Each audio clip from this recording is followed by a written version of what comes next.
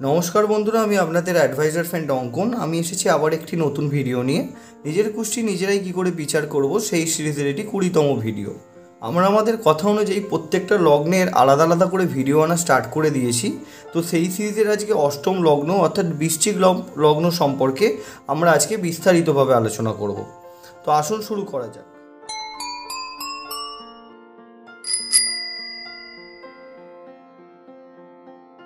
তো ভিডিও শুরু করবার পূর্বে সর্বপ্রথম বলে রাখি যে লগ্ন কী আর রাশি কি সেই নিয়ে অবশ্যই আমাদের সেপারেট ভিডিও আসবে। তারপরেও আমি আপনাদেরকে এক কথায় বলে রাখতে চাই, আমরা যখন জন্মগ্রহণ করি, পূর্ব দিকে যেই রাশিটি উদিত হয় সেটাই কিন্তু আমাদের লগ্ন এবং আমাদের জন্মকুষ্ঠী অনুযায়ী চন্দ্রের অবস্থান, যেই ঘরে, যেই রাশিতে চন্দ্র অবস্থান করে সেটাই কিন্তু আমাদের রাশি। তো আশা করি ব্যাপারটা আপনারা বুঝতে পারছেন। তো আজকে আমাদের আলোচনার বিষয় হবে বৃশ্চিক লগ্ন সম্পর্কে। তো সর্বপ্রথম বলে রাখি যে এটি কেন বৃশ্চিক লগ্ন হলো? কেননা বৃশ্চিকের ঘরে লগ্ন লেখা আছে। অর্থাৎ বৃশ্চিক লগ্ন অবশ্যই আমাদের লগ্ন সাপেক্ষে, এই কুষ্টি সাবেকে কিন্তু ফার্স্ট হাউস হবে বা এক নম্বর ঘর হবে। তো আজকে আমরা জানব কি বৃশ্চিক লগ্নে লগ্নপতি হচ্ছে মঙ্গল, ঠিক আছে?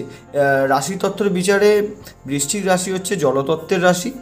বৃশ্চিক লগ্নের জাতি হচ্ছে ব্রাহ্মণ। তো এর পরে যে মোস্ট ইম্পর্টেন্ট বিষয় সেগুলো হচ্ছে বৃশ্চিক লগ্ন সাপেক্ষে কোন গ্রহগুলি কারক এবং কোন গ্রহগুলি অকারক এবং কোন গ্রহগুলি সম ফলাফল দিয়ে থাকে। ঠিক আছে? এরপরে আমরা পরপর শুভ রং, অশুভ রং সব সম্পর্কে জানব। তো এখন আমাদের বিষয় হচ্ছে কারক গ্রহ কোনগুলি? তো দেখুন, কারক গ্রহ বিচার করবার জন্য আমি আপনাদেরকে খুব ইজিলি বলেছিলাম যে কীভাবে গ্রহ বিচার করতে হয়। সেই ভিডিওটি যদি আপনারা না দেখে থাকেন, তাহলে অবশ্যই ভিডিও ডেসক্রিপশানে আমি লিঙ্ক দিয়ে রাখছি। আপনারা অবশ্যই ভিডিওটি দেখবেন। দেখুন সর্বপ্রথম এই লগ্ন সাপেক্ষে কারক গ্রহ কিন্তু স্বয়ং মঙ্গলদেব। এই কুষ্ঠির লগ্নপতি মঙ্গল কিন্তু এই লগ্নের জন্য সর্বাপেক্ষা কারক গ্রহ ঠিক আছে? দ্বিতীয় হচ্ছে নবমপতি চন্দ্র, আমি আপনাদেরকে বুঝিয়ে বলে দিচ্ছি, আমি লিখে দিই আগে, চন্দ্র। এবং তৃতীয় হচ্ছে বৃহস্পতি।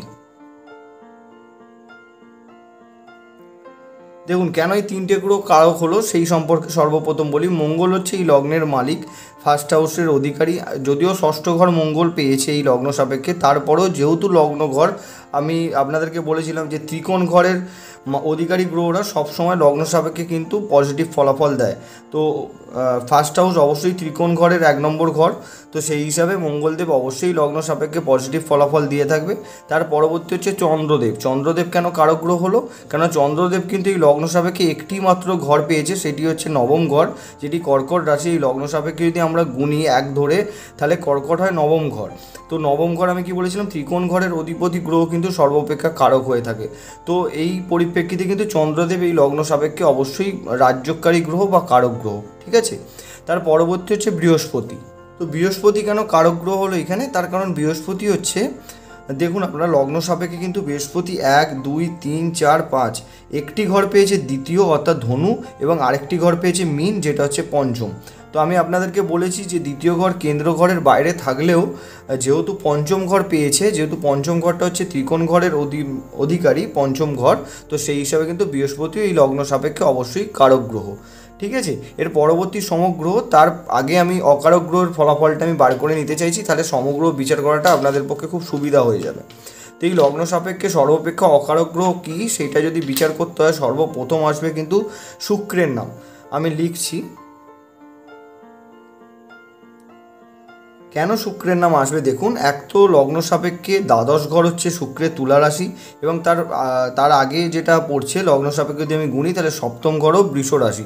একটা আমাদের বিপরীত ঘর, যদিও সেটা কেন্দ্র ঘর পেয়েছে, কিন্তু আরেকটা হচ্ছে সর্বাপেক্ষা নেগেটিভ ঘর, যেটা টুয়েলভ হাউস আমি আপনাদেরকে বলেছিলাম টুয়েলভ এইট সিক্সড এইট এবং টুয়েলভ হাউস সর্বাপেক্ষা লগ্ন সাপেক্ষে নেগেটিভ ঘর হয়ে থাকে। এরপরেও কিন্তু গৌ মৈত্রীর ভিডিওটা যারা দেখেনি তারা যদি দেখে থাকেন, শুক্র এবং মঙ্গল কিন্তু একে অপরের নৈসর্গ নৈসর্গিক শত্রু কিছুটা ক্ষেত্রে কিন্তু সম ফলাফল এরা দিয়ে থাকে, তার পরিপ্রেক্ষিতে তার ফলাফলটা অন্য হয়ে থাকে, কিন্তু লগ্ন সাপেক্ষে সেটা শুক্রের পজিশন অনুযায়ী ডিপেন্ড করবে, কিন্তু এই ক্ষেত্রে কি? নর্মালি বৃষ্টিক লগ্নের ক্ষেত্রে কিন্তু শুক্র সর্বাপেক্ষা অকারক ফল দিয়ে থাকে। ঠিক আছে? তার পরবর্তী হচ্ছে বুধ গ্রহ।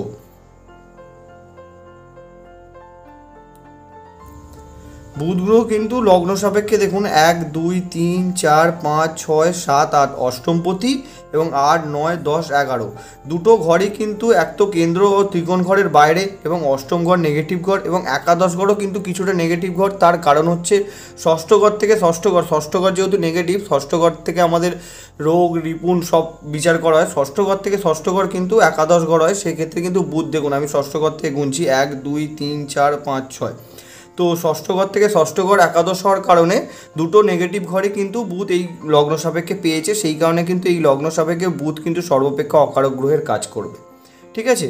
এর পরবর্তী আসছে আমি সমগ্র। সমগ্রতে সর্বপ্রথম আমি নাম লিখব সূর্যদেবের। দেখুন, সূর্যদেবের নাম আমি সমগ্রতেও লিখব এবং কারক গ্রহতেও লিখব।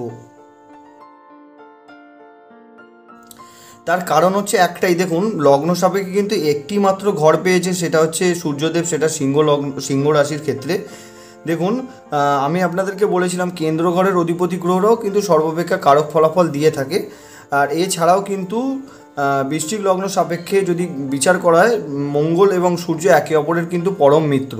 তো সেই হিসাবে সূর্যদেবকে কারক গ্রহর লিস্টেই ধরা হয়।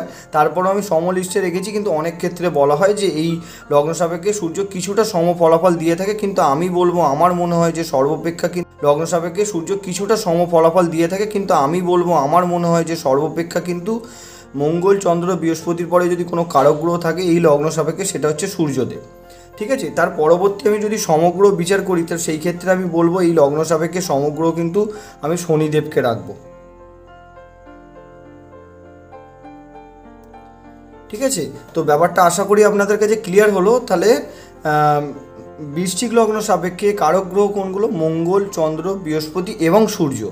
সমগ্র কোনগুলো? সূর্য এবং শনি। এবং অকারক গ্রহ কোনগুলো? শুক্র এবং বুধ। ঠিক আছে? আশা করি আপনারা বুঝতে পারলেন। এর পরবর্তী হচ্ছে কি? শুভ রং।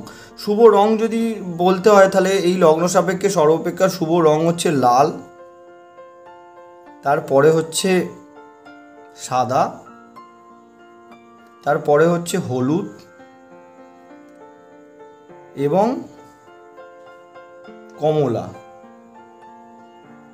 তো এই লগ্ন সাপেক্ষে শুভ রং কোনগুলি? লাল, সাদা, হলুদ ও কমলা। তো আপনারা যারা বৃষ্টিক লগ্নের মানুষ আছে, তারা অবশ্যই আপনাদের শুভ কাজের সময় এই রং বা আপনাদের বাড়ির আসবাবপত্র বা অফিসের যে কোনো জায়গাতে আপনারা যদি এই রঙের পোশাক, আশাক বা জিনিসপত্র ব্যবহার করে থাকেন, তাহলে সেটা ক্ষেত্রে আপনাদের পক্ষে কিন্তু এক কথায় লাকি হবে। ঠিক আছে? তো কোন কোন রং আপনাদেরকে অ্যাভয়েড করতে হবে? অশুভ রং কোনগুলি? অশুভ রঙের সর্বপ্রথম আসবে হচ্ছে সবুজ। তো বৃষ্টিক লগ্নের মানুষরা সর্বাপেক্ষা কিন্তু চেষ্টা করবেন সবুজ রঙকে অ্যাভয়েড করে চলার। এছাড়া আর কোনো অশুভ রং এই লগ্ন সাপেক্ষে হয় না। তো সেক্ষেত্রে শুধু সবুজ রং, ঠিক আছে? তার পরবর্তী আসছে কি শুভ রত্ন। এই লগ্ন সাপেক্ষে সর্বাপেক্ষা শুভ রত্ন হচ্ছে মঙ্গলের প্রবাল, যেটাকে বলা হয় রক্ত প্রবাল বা পলা। পরবর্তী হচ্ছে চন্দ্রদেবের মুক্ত।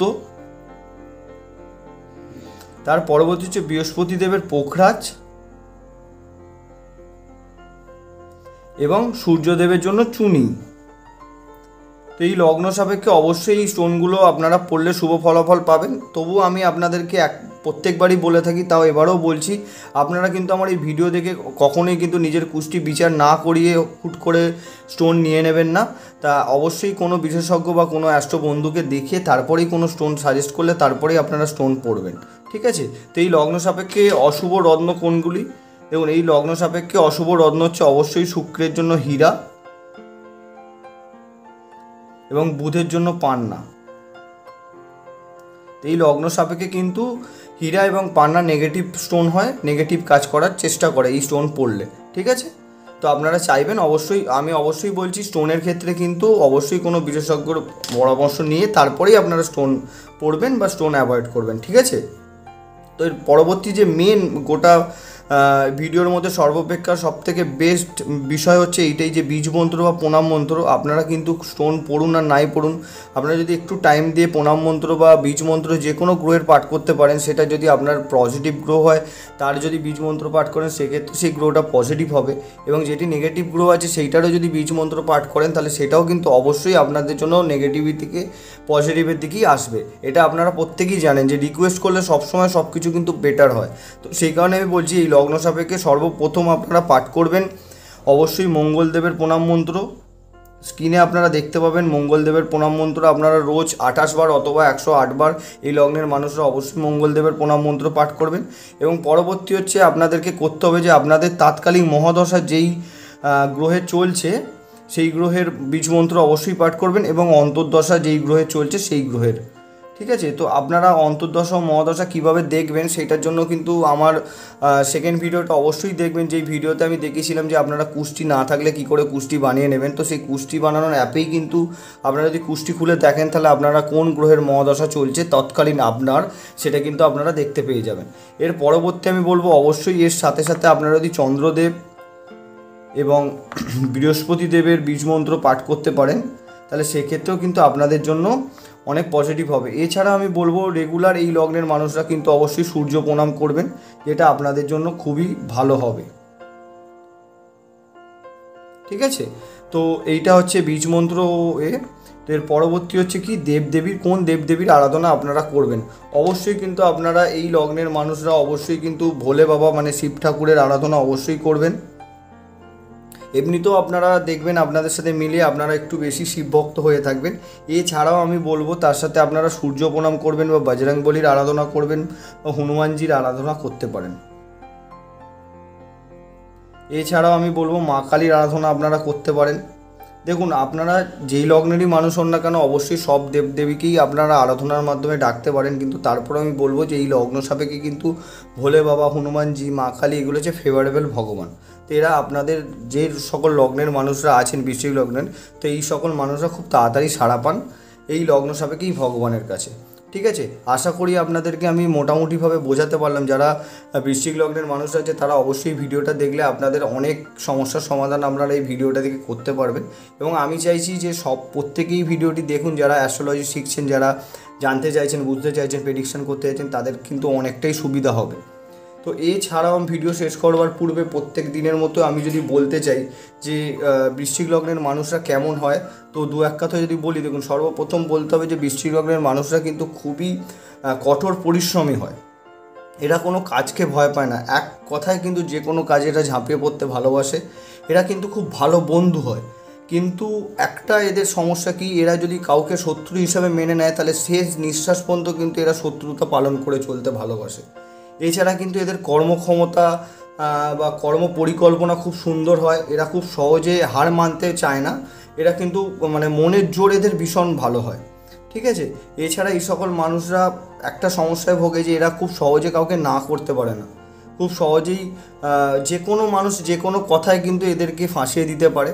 তো সেই দিক থেকে আমি বলব, এই সকল লগ্নের মানুষরা নিজেকে একটুখানি মানে বুদ্ধি দিয়ে অবশ্যই চলা এই সকল মানুষদের দরকার। তো এছাড়া যদি বৃশ্চিক লগ্নের সম্পর্কে বলতে চাওয়া হয়, তো এই সকল মানুষ অনেকে পুলিশের চাকরি বা ডিফেন্সের চাকরির সাথে যুক্ত হতে পারে। সরকারি চাকরির যোগাযোগ কিন্তু এই লগ্নের মানুষদের বেশ দেখা যায়। ঠিক আছে? আশা করি আমি আপনাদেরকে বোঝাতে পারলাম। এই ভিডিওটি আশা করি আপনাদের ভালো লাগল। যদি ভালো লেগে থাকে তাহলে অবশ্যই চ্যানেলটিকে সাবস্ক্রাইব করবেন এবং ভিডিওটি শেয়ার করে অন্যান্য বন্ধুদের সাথেও শেয়ার করবেন, যাতে অন্যান্য বৃষ্টিক লগ্নের মানুষরা ভিডিওটা দেখে উপকৃত হতে পারে। নমস্কার।